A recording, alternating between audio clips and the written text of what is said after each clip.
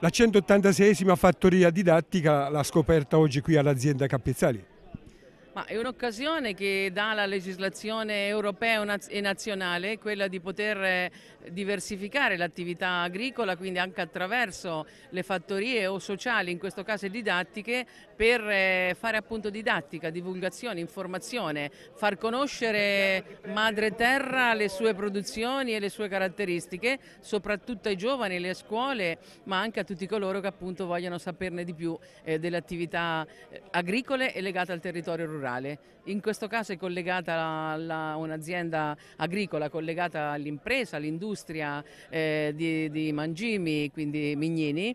E credo sia anche un bel biglietto da visita eh, che dimostra sia attraverso la fattoria didattica ma anche l'allevamento del pollo a terra che c'è eh, una filiera, quindi c'è eh, eh, la diciamo, capacità di far vedere concretamente che le produzioni sono di qualità e che ad una mangimistica di qualità può corrispondere anche un allevamento di qualità per riposizionare al centro del nostro agire prima di tutto la salute, cibi di qualità e salvaguardia dell'ambiente.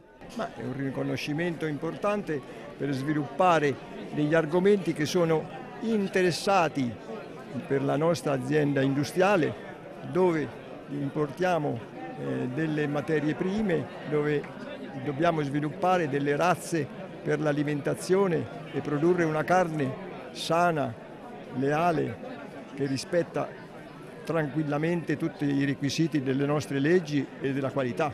Questo è importante. E c'è anche l'inaugurazione dell'aula didattica dedicata a sua madre. Certo, certo.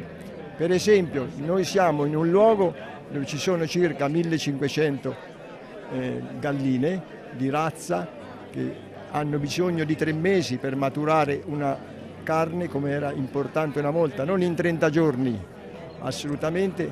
Questa è un'iniziativa eh, fatta dalla Mignini e Petrini, recuperando delle razze di galline eh, le dirò che è stato difficile recuperarle, però con queste galline abbiamo dei polli di un sapore migliore, ci sarà da alimentarli un mese e mezzo di più, però sono maturi questi eh, polli, non sono polli che maturano 30 giorni.